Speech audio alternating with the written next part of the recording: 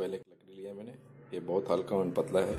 इस perfect for this project तो मैं अभी दो स्क्वायर पीस चाहिए। तो मैं पहले इसका विथ नापूँगा। इस 10.5 सेंटीमीटर है।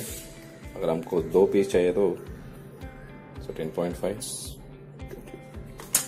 आप चाहे तो इसको रेक्टेंगल भी बना सकते हैं ट्राइंगल भी बना सकते हैं सर्किल भी बना सकते हैं। बट जिसका आप सेंटर नाप सकते हैं तो आप you can use any type of shape so I am presently using a square अब इसको काटेंगे काट दिया है।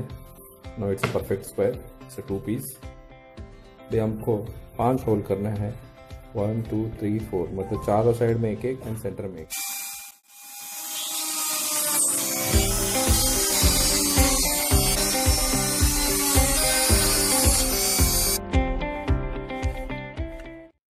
We need two sticks. And two small piece of wood. Which I made from that uh, local bamboo so even you can also make we need to make two holes on this one is here and one is here here we need a big hole here we need a small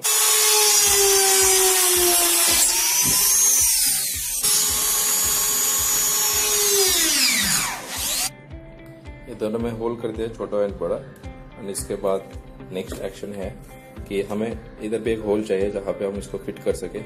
Just to make sure that perfect hole just I am just fixing it's temporary and this for perfect in straight line